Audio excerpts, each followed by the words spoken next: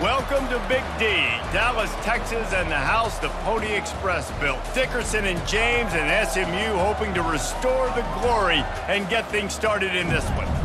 Little gets the blood boiling. Quite like a rivalry game. Barbs, shots, trash talk, things that go on throughout the week will now all be settled on this field. As we'll see a squad from the Big 12, the TCU Horned Frogs, taking on a team from the ACC, the SMU Mustangs. 48 Sports College Football, I'm Reese Davis, joined here in the booth by David Pollack and Jesse Palmer. And guys, let's get this thing started. And the Mustangs will boot it away to start the game. And he takes this from inside the five. He was hoping for something a little more dynamic, but they get him on the ground at the 20. So TCU's offense will get the first possession of the game. There are always butterflies to start a game, but when you have a rivalry like this, the adrenaline is pumping on overdrive, guys. They aren't all the same. We say that, but we know differently. The blood is boiling. The temperature is hot. Jesse, you want this week more than most. Yeah, David, we played in these games before. Everything just seems to be heightened, right? The game seems to be moving faster. The crowd noise feels louder. Your composure will be tested early in a game like this. Makes the stop at the 32, but he picks up 10 on that play. The Horned Frogs are in the hurry-up.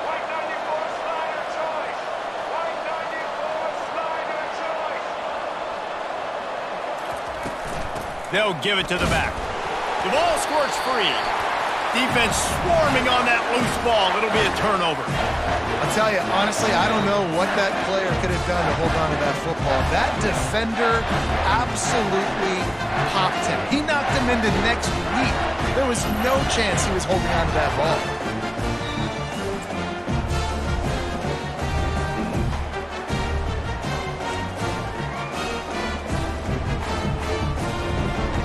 The offense set for a first down play. Let's go. Here's the handoff. Not a whole lot of room there. Three yards maybe, second and seven. I like feeding my guy. I like getting my running back touches, feeding the ball so he can break some of those big runs, but I'm also okay with these little ones. Set the tone, stay balanced. To the air, it's Stone. He'll try to do it himself. Finds a crease at the 20. Finally run out of bounds, but he has his offense rolling with a first down. And you're seeing here the difficulties defenses have trying to contain this guy. If you leave a lane open or you don't sack him right away, you allow him to get outside the pocket, he is going to take off, and he is very difficult to tackle in the open field. He's got running back-like ability out in space. They want to run it left here. They bring him down, and he's going to lose a yard on that one. They're trying to run the football, and there's just nowhere to go for the ball carrier inside. He tried to bounce it to the outside. That linebacker way too fast. He met him there and forced the TFL. Going to work in the red zone. They can't pick up the first down without getting it into the end zone. And the quarterback is knocked down back at the 13. Well, quarterback went down behind center pretty quick that time, and it makes you wonder as a play caller, against this pass rush, do you start thinking about maybe rolling your quarterback out and changing the launch point?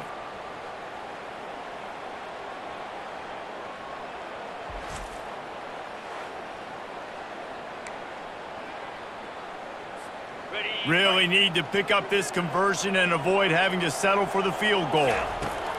On third and long, he's going to have to throw for it. He caught it. And he wanted the score badly, but the defense wrestles him down at the two. Line of scrimmage is the two, and they can pick up the first down here, but going for the touchdown here on fourth and short.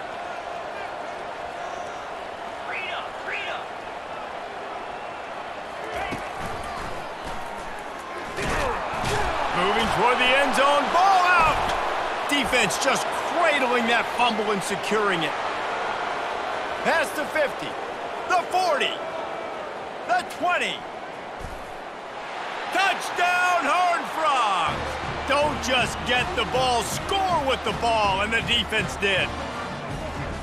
And I love the way they break on the football, swarm to the football. This is why you do it, because sometimes the ball comes out, the linebacker picks it up, and tell you what, the big fella shows some speed, takes it all the way back for six.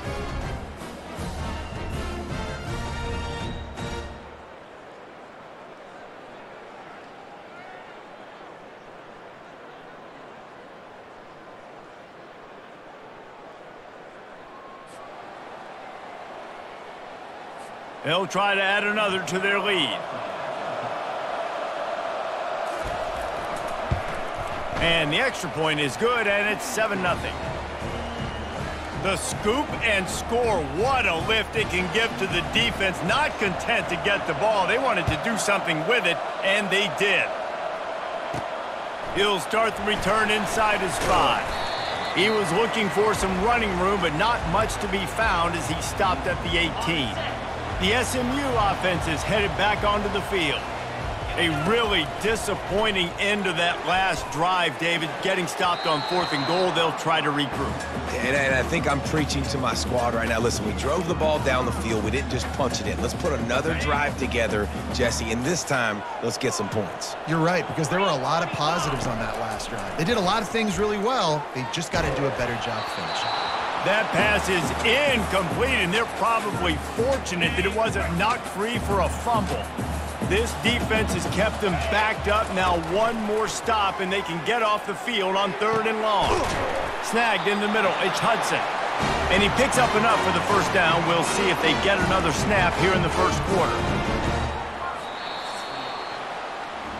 That's the end of the quarter, and TCU has the lead. And we've come to the end of the first as we take a moment to check out the stats so far.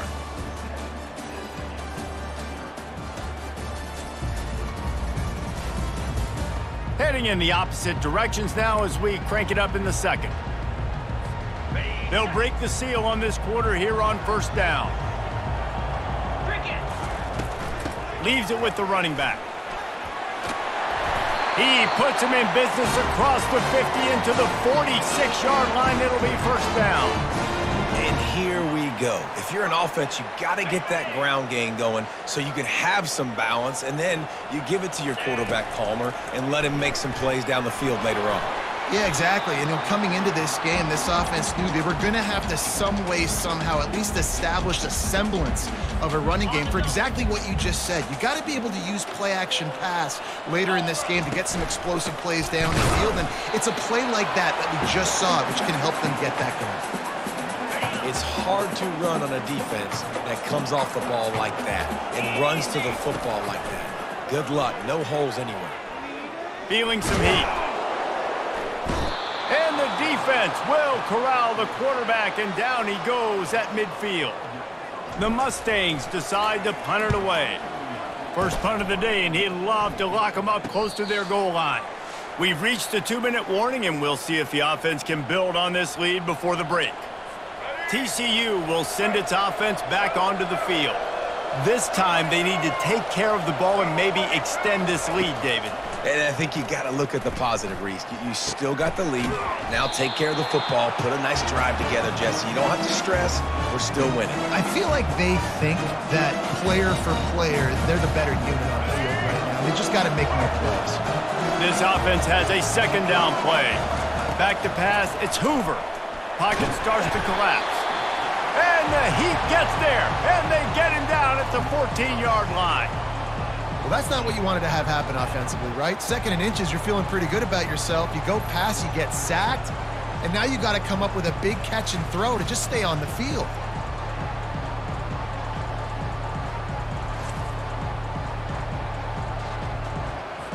If they can convert here, that type of play can really give you a shot of momentum.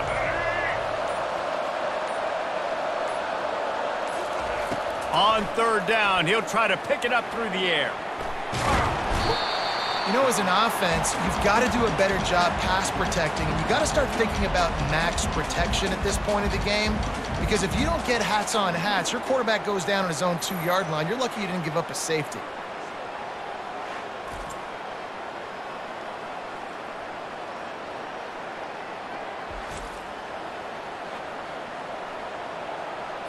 And the Horned Frogs will try to pin them back with the punt. Three and out, they got stuck in reverse. They hope the punt can bail them out.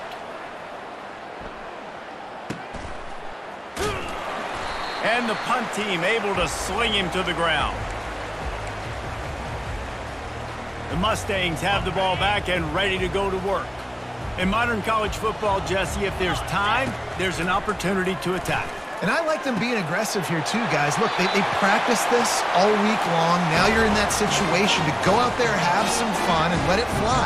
And defenses are taught to stay deep, play prevent in these situations. So I think you could get a good chunk play and then possibly get a field goal to tack on before the half. Now from inside the red zone.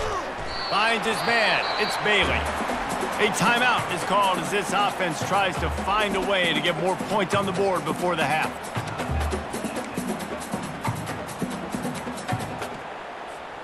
Running out of time here in the first half, they're going to have to be efficient to put some points on the board before the break. Finds his man down the middle. They'll use a timeout right before halftime. Maybe time for one or two more plays.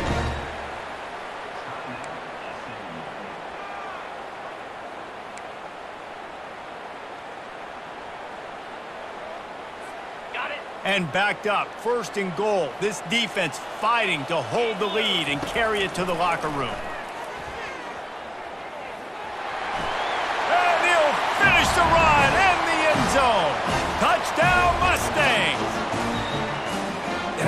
That this offense stuck to it, stuck to the run game, didn't panic. They got down, but they answered the bell right before the half, and they got this thing right where they want it now. They can tie this football game and hopefully go into the half with a lot of momentum.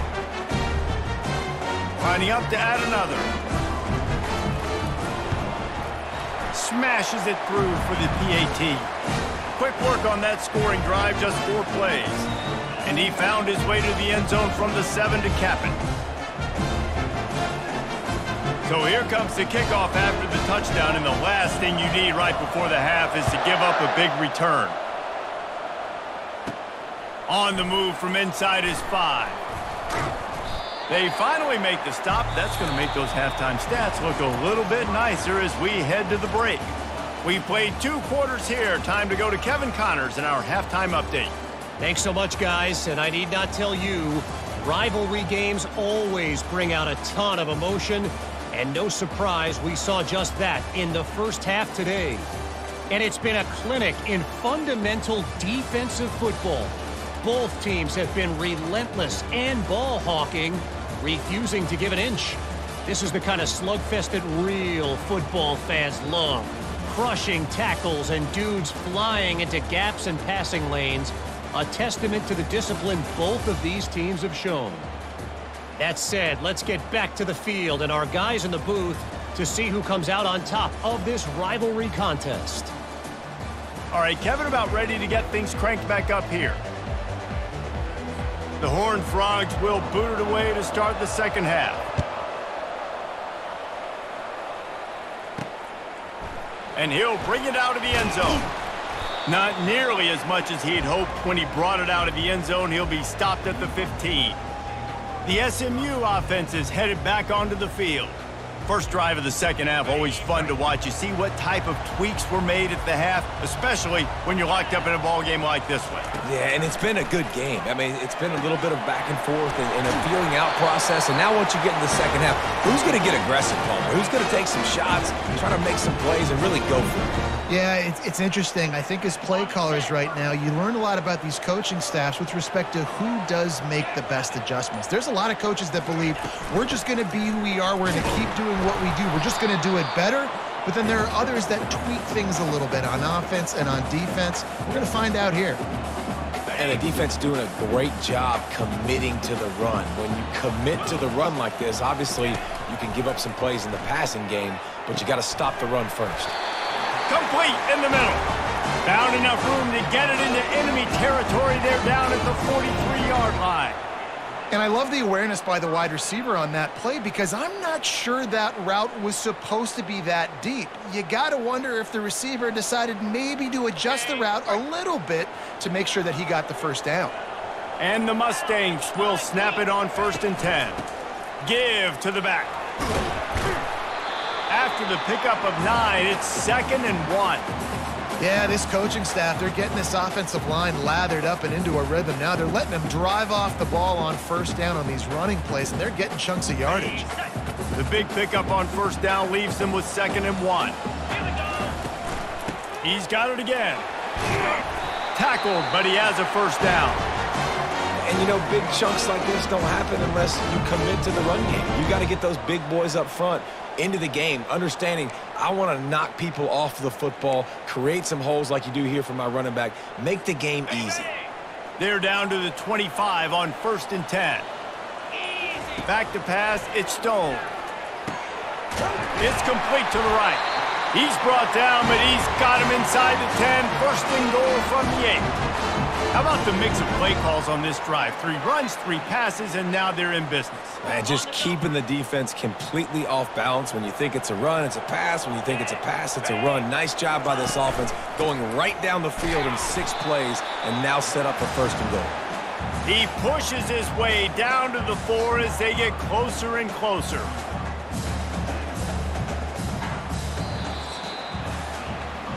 What a ride. It's been through the first three quarters of this game. We are all tied up. Let's check out some stats.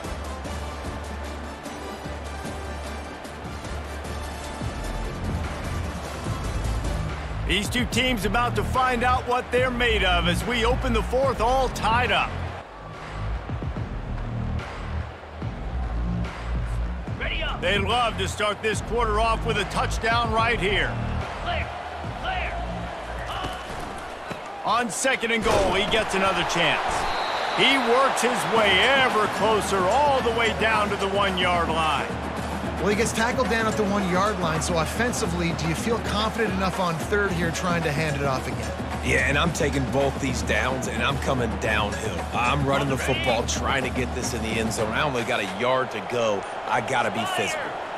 Wide receiver shows motion. The give. Touchdown, SMU! And with that, they move out front here in the fourth. And I love the physicality of this offense. It's third and goal. It's money time.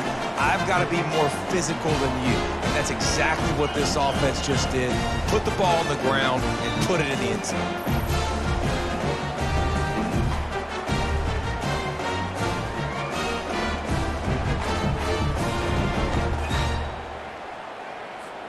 Lining up to tack one more onto that lead.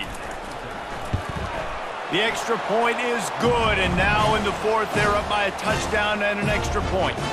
So a drive there of 85 yards, and they capped it off with a one-yard plunge. About to kick it away after scoring the touchdown.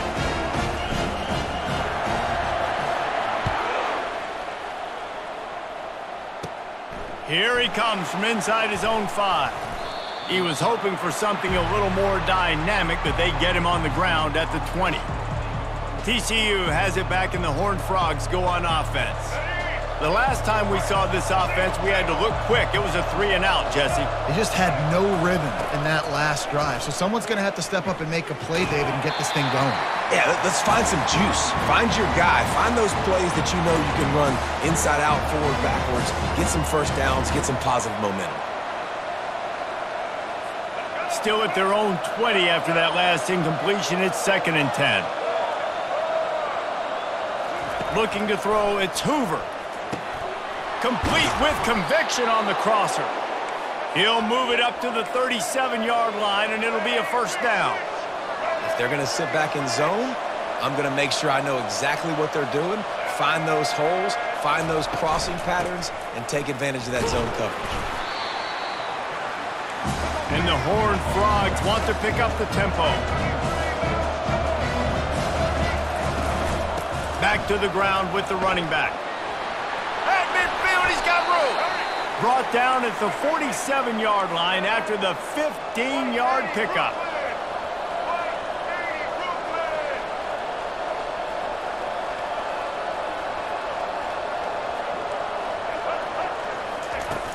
Off the play fake on first down to throw. Trying to get to it. Hit hard as he released the ball on that first down pass, and it never had a chance. Here they come on second and 10 from the 47 after the incompletion. He's looking to throw. The sure hands, it's Richardson. And he goes out of bounds after a nice pickup on that one. Getting late, pressure building, huge third down coming up on the road for this offense. They're trying to get to it. Got it in the middle, it's Richardson. Really nice job there by both guys to throw and the catch to work that defense and get the first down.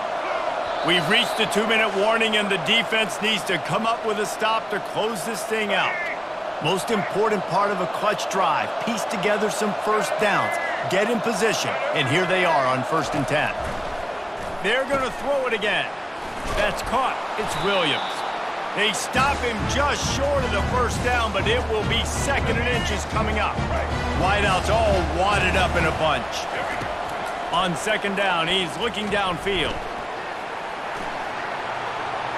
And that's just a flat misfire, not even close to his receiver. Give that guy a lot of credit, man. He was able to somehow avoid that sack, but nobody open downfield throws it away. He's got the tight end. Tackle is made after the first down.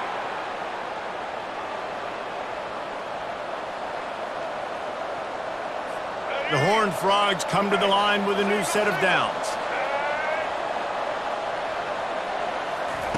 They've marched to the red zone, and here they go. And the physical play there forces the incompletion on first down. This offense just wearing this defense down. 11th play of the drive coming. Going to the running game. They'll give him a couple. That leaves him with third and eight. I never know if it's grammatically correct to say a team is being out-physical. You hear it a lot in football, though. That's happening in this game. They are just not getting the push they need all game long up front to have any success when they decide to... Oh, no, the ball popped out. This could change things. A defense scoops it up, and they're bringing it back. Nothing but green grass down the middle. At the 20. And this defense breaks it open as they return it to the house for six. These guys are starting to separate themselves a little bit now, and it could get ugly if there's no answer coming up. Nail me coffin. You know, we're supposed to keep everybody involved in this game, right? Keep them excited, a reason to tune in. Well, I don't got one. This is over.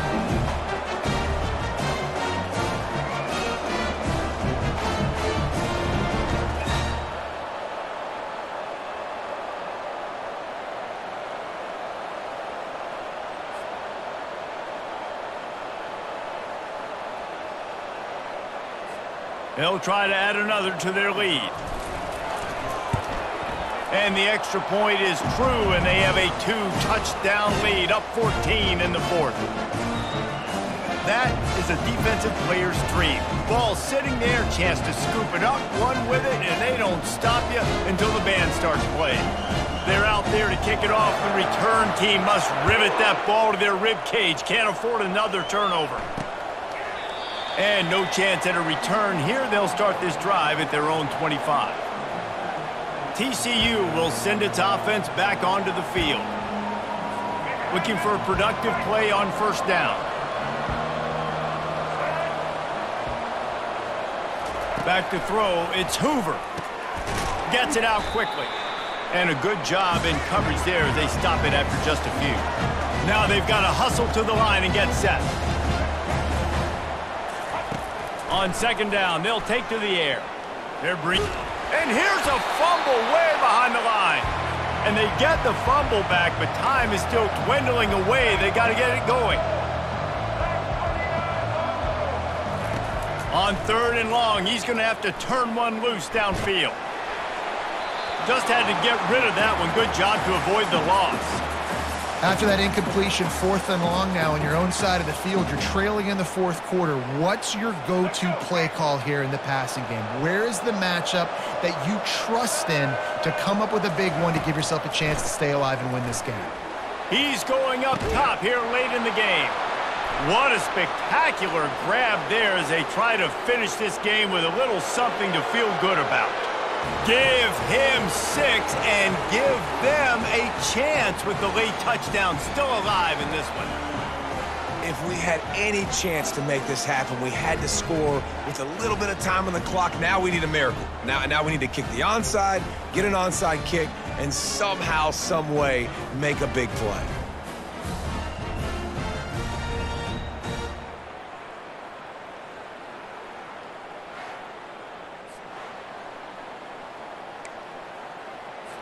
To attempt the try.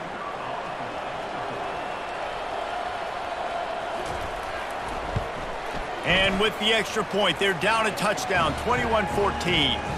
Quick work on that scoring drive, just four plays. And the finish shows just how potent they are, an 88-yard touchdown pass. They'd hope to get that thing bouncing around, but the hands team is able to corral it. Yeah, and this is why you put your hands team on the field most of the time you, when you know it's coming and you put those guys that are great catchers of the football. The first guys, what do they do? They go block. They go blow somebody up. The next guys catch the football, secure it, get your butt on the ground. And most of the time when you do this, the ball game is over. Looking for a physical attack from the gun.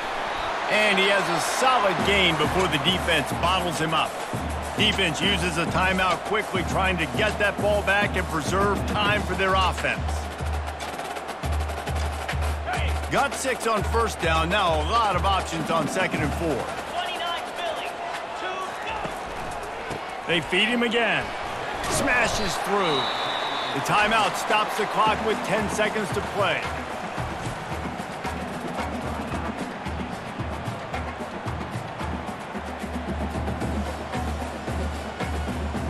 Got it. Trying to move the sticks on third down.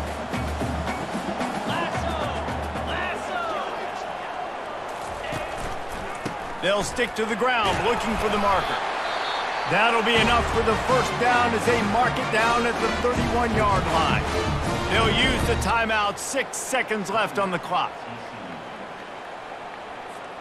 Running out the clock, a mere formality between them and a victory as we have victory formation coming. No matter how much college football changes, realignment, all of that kind of stuff, rivalries are consistent and winning rivalry games, well, that's just the best. because they hate each other so much. So you take the field against your rival. You're able to put up forth a performance like that. That is worth its weight in gold, David. Unbelievable effort here by the winning team and bragging rights now for a while. bragging rights for a while. It's it's a fun thing to be able to accomplish. Now we also got to take in the next couple games because this is always there's a letdown that naturally happens after these big rivalry wins. We feel like our chest is poked out. We got to look on to the next game, focus in on this next one. So that's going to do it for us. For Jesse Palmer, David Pollack, I'm Reese Davis saying so long. This has been another presentation of EA Sports College Football.